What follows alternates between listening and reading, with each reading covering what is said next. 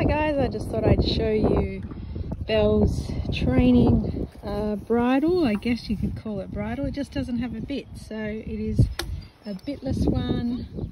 There's rope, there's some really good quality stainless steel rings.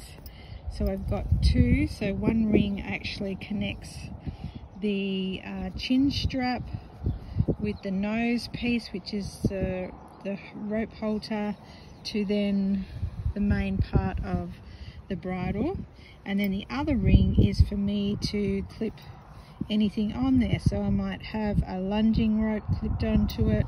I might have some long reins one on each side there or I might just have my normal reins when I start riding her. So yeah then it's got a neck strap as well it does up. It's good quality leather so it's nice and soft and it's sort of like a buttery soft one so it's actually been probably dipped in oil and soaked in oil. But yeah really happy with my new buy. Just tried it on Belle as well.